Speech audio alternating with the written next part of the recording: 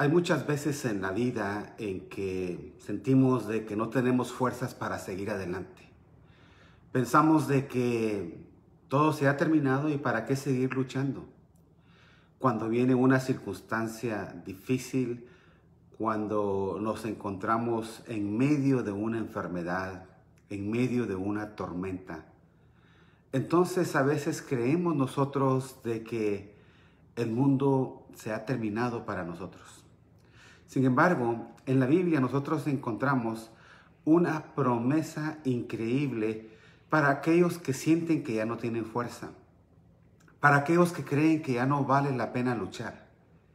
Esta promesa originalmente se la dio Dios al pueblo de Israel cuando se encontraban cautivos en Babilonia.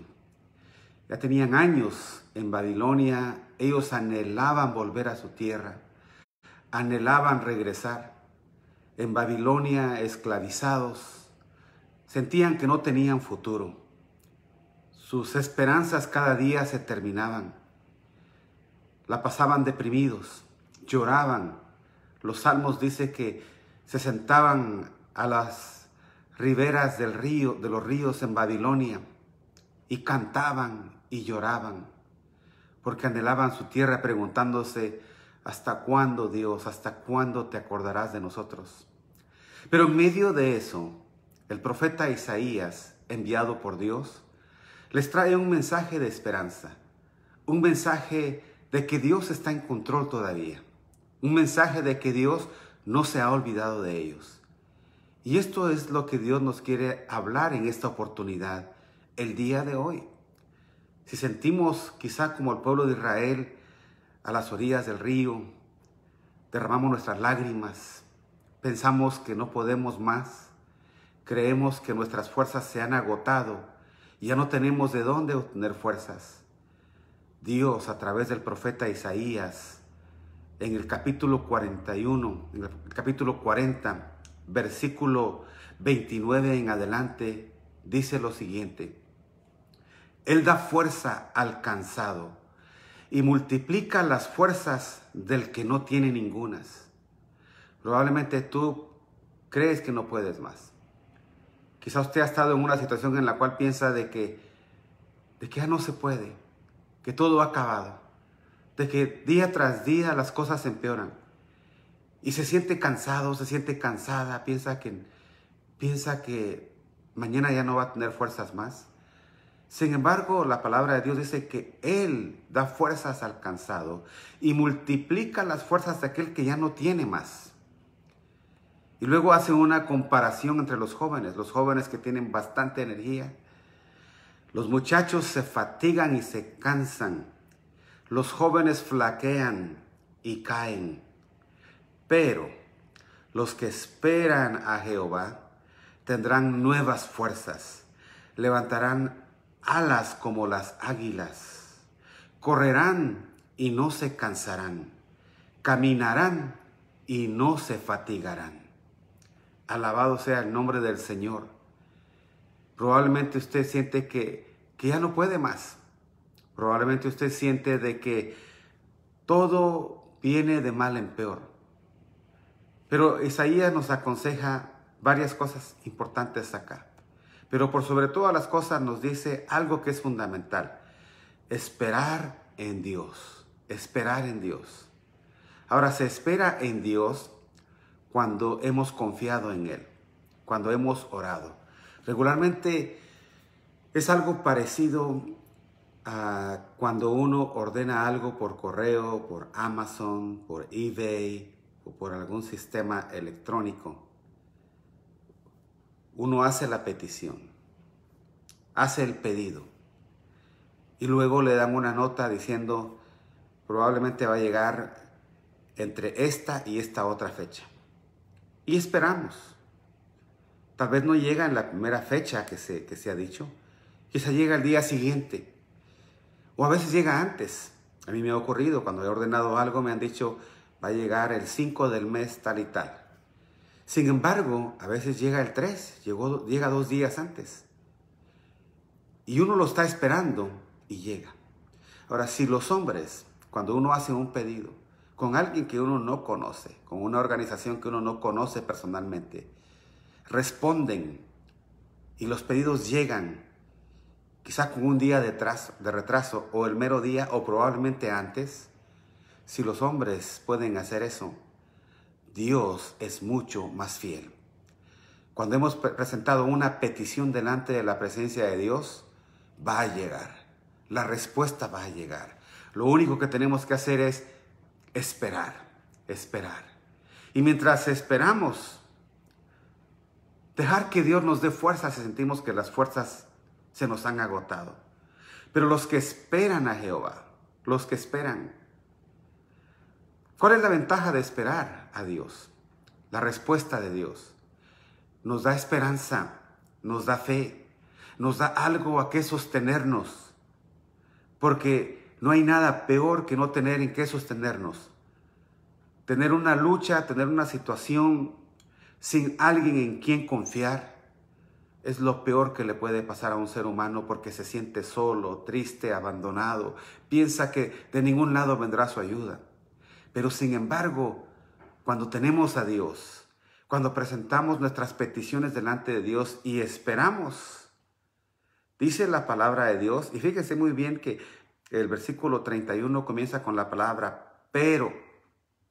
Los jóvenes que tienen toda la fuerza, que pueden levantarse y la recuperan rápidamente, sin embargo se cansan. Pero los que esperan a Jehová tendrán nuevas fuerzas. No dice que les va a dar la fuerza que ya tienen y les los va a poner un poquito más fuerte, les va a dar nuevas fuerzas. Porque las fuerzas del día de hoy o las fuerzas del día de ayer se nos terminaron probablemente, pero mientras estamos durmiendo el Señor nos va a dar nuevas fuerzas, nos va a dar nueva esperanza, nos va a alentar, nos va a animar y nos va a decir, yo estoy contigo, yo estoy, yo estoy a tu lado, yo pelearé tus batallas. Pero los que esperan a Jehová tendrán nuevas fuerzas. Y no solo tendrán nuevas fuerzas, sino que se levantarán, levantarán sus alas. Da la idea de un águila que probablemente se siente herida, que ya no puede levantar vuelo más. A lo mejor así nos sentimos muchas veces nosotros heridos, lastimados por las situaciones de la vida y creemos que ya no vamos a poder levantarnos, pero Él dice que vamos a levantar vuelo como las águilas, levantarán sus alas. O sea, los instrumentos que tenemos vamos a volver a llenarlos de energía. La esperanza se llenará de energía y vamos a levantar alas como las águilas y vamos a correr y no nos vamos a cansar. Vamos a, Vamos a caminar y no nos vamos a fatigar. ¿Qué quiere decir esto? Que en medio de toda situación, en medio de toda lucha, cuando confiamos en Dios y esperamos en Él, vamos a tener fuerzas. Probablemente usted el día de anoche se durmió pensando qué voy a hacer mañana, no sé si voy a poder vivir, no sé si la semana que viene tendré nuevas fuerzas para seguir luchando. Mientras usted duerme, el Señor le renueva sus fuerzas, le da la esperanza, le da la palabra de vida para seguir adelante. La pregunta que yo le tengo en este día es, ¿qué es? ¿Qué es lo que ha agotado su fuerza? ¿Qué es aquello que le ha hecho pensar que su situación no va a cambiar? ¿Qué es aquello que le ha hecho pensar que para qué seguir adelante? Bueno, para Dios no hay nada imposible. Y tarde o temprano Dios va a intervenir en la situación suya. Los que esperan en Jehová tendrán nuevas fuerzas, levantarán alas como las águilas, correrán y no se cansarán, caminarán y no se fatigarán. El pueblo de Israel que escuchó esas palabras cuando se encontraba en Babilonia, en medio de la cautividad, en medio del exilio, cuando piensan que ya no van a poder volver, cuando creen que ahí van a ser enterrados, cuando creen que ahí se va a acabar su futuro, Dios les da esa palabra. Y saben una cosa, poco después de que estas palabras llegan a ellos, Dios los libera Dios envía a un rey que viene de Persia, invaden Babilonia y el pueblo de Israel queda libre para la gloria de Dios. Dios usará instrumentos que no nos imaginamos para llegar, pero mientras llega la intervención de Dios, Él nos va a llenar de fuerza, nos va a llenar de fortaleza. ¿Cuáles son las palabras que le decimos a una persona cuando ha perdido un familiar? Siempre le decimos que Dios le llene de fuerza, que Dios le llene de fortaleza y Dios lo cumplirá. Dios le va a llenar de fuerza. No importa cuál es la situación que está luchando, no importa qué es lo que lo tiene cansado. Hay gente que dice que con este hijo ya no sé qué hacer. Ya tanto que le hablo y no hace caso, no entiende. O con mi marido no sé qué hacer, con mi esposa no, no, sé qué hacer con ellos, tanto y tanto, ya tengo tanto tiempo luchando y nada pasa. Bueno, los que esperan en Jehová tendrán nuevas fuerzas. Dios les llena de fuerza, le da ánimo. Y en este día yo le digo a usted en el nombre de Jesús, levántese en el nombre de Cristo. Vea la vida con la perspectiva de Dios, con la perspectiva de las posibilidades. Si no tiene fuerza, confíe en Dios, espere en Dios, que Él le va a dar fuerza de donde usted no se imagina y usted va a poder ver las situaciones con los ojos de la fe, con los ojos de las posibilidades y grandes cosas vendrán sobre su vida. Ánimo, que aunque todo a su alrededor parece que se está derrumbando, Dios está con usted y donde Dios está, reina el poder, la gloria, la gracia, lo sobrenatural y la intervención divina del Dios Todopoderoso. Yo quiero orar por aquellos que sienten que ya no tienen fuerza, por aquellos que creen que ya todo se terminó.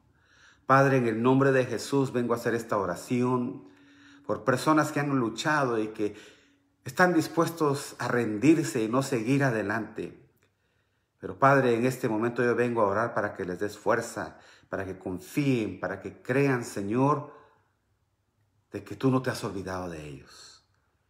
Y que recuperen esa fuerza, esa fuerza y esa energía y esa fe que necesitan para seguir adelante. Y como lo hago todos los días, esta mañana quiero orar este texto proféticamente para cada persona que me está viendo. Pero usted que, me que espera a Jehová, usted tendrá nuevas fuerzas. Usted se levantará, levantará alas como las águilas. Usted correrá y no se cansará. Usted caminará y no se fatigará porque Dios está con usted. Que esa palabra sea el aliciente, sea el motivo para seguir adelante el día de hoy en el nombre de Jesús. Amén. Que Dios me los bendiga, que la gracia de Dios sea con ustedes.